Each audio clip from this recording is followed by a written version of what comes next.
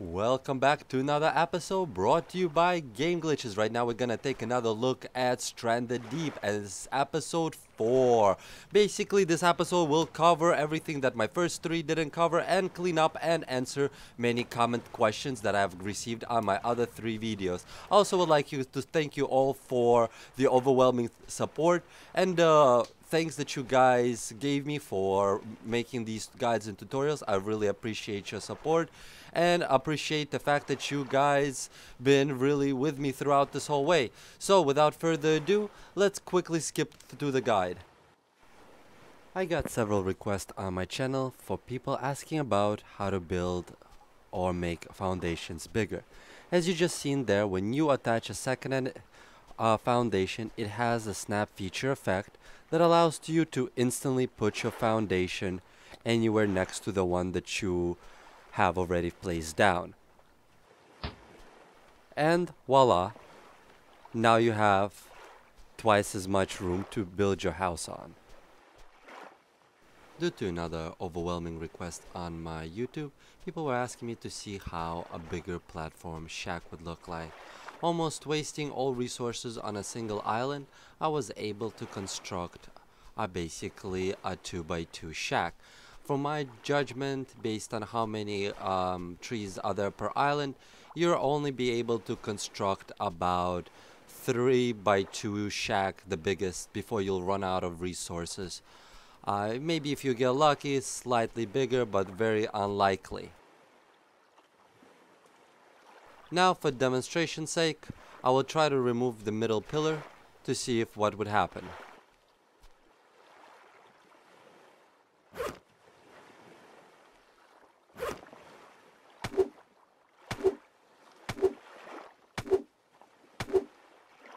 Come on, buddy. Up and there you go. As you could see, the roof still stays there. But for you to put down the roof, you would need to have that pillar there first. Otherwise, the roof would not snap in.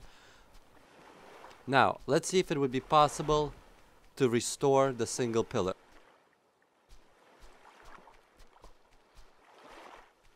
If, for example, you would decide to remodel.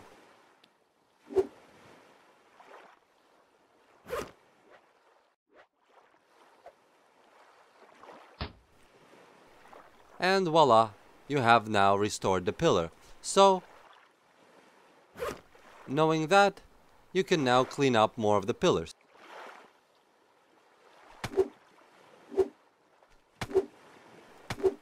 To make this look much nicer.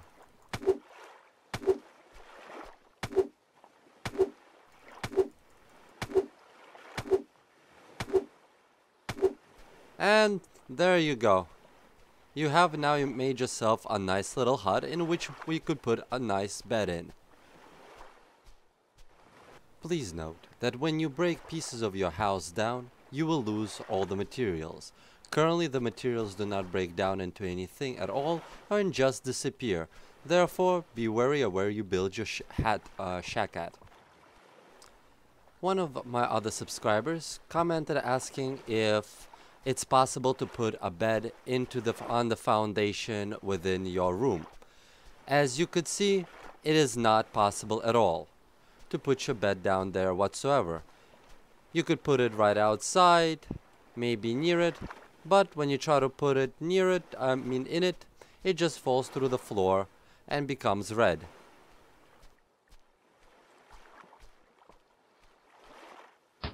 So you kind of have to have a shack next to your bed for now. Perhaps it'll be a feature that'll be addressed in the near future patch. Another major question that I've noticed on my comment section on my videos is how to refill the campfire. To refill the campfire or fire pit or you know anything really, you just have to hold a stick in your hand, approach the campfire and click on it and as you could see I've placed the stick down.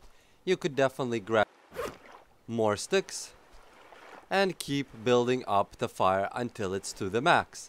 And as you could see, the fire is back full. And now you can definitely relight it and cook on it once again. Another question that I had was what's the difference between holding something over it and hanging it on a rope and letting it cook. From what I've noticed, the time is exactly the same whether whether you hold it or if you hang it on the rope.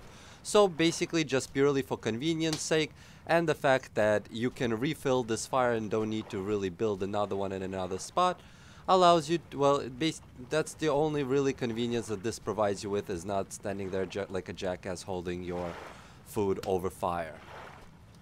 Now we're gonna take a look at another thing about coconuts that I forgot to mention in my previous episodes.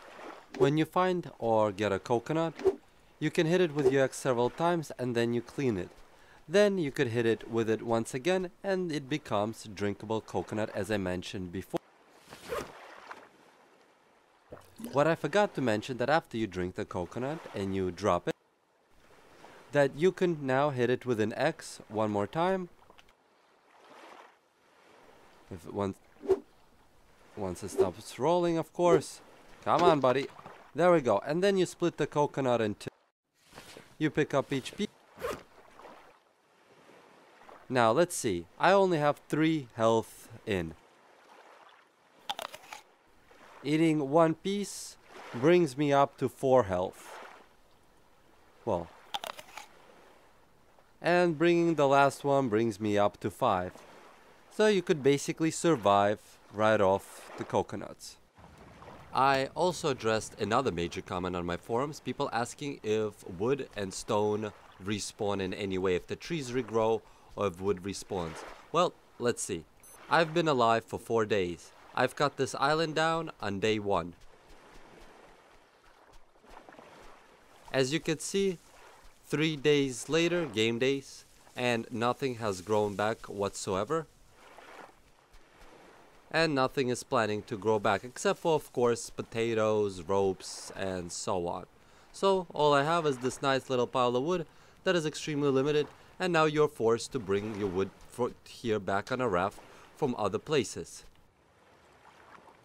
I found it that it's extremely difficult on this server or in this game it, to transport wood on your little raft.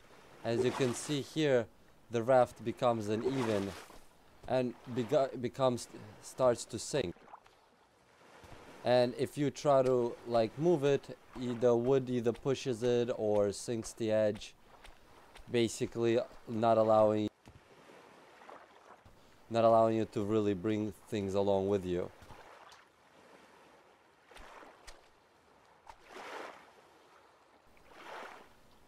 As you can see it's very difficult to put the log and once you do it starts to flip the raft.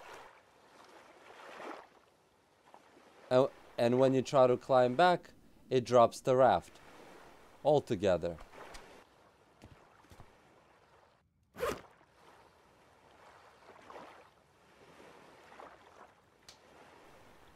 And voila.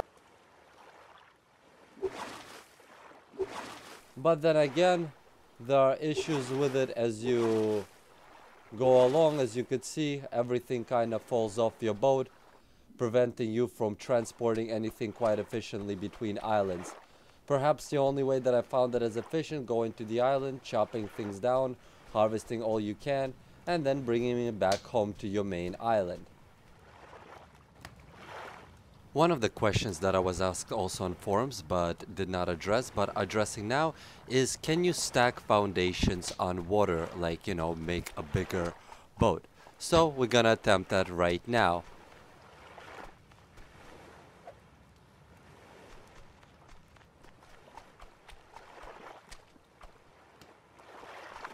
It doesn't seem like the snap feature is working at all whatsoever you can't seem to increase the size of your raft. Gonna try one more.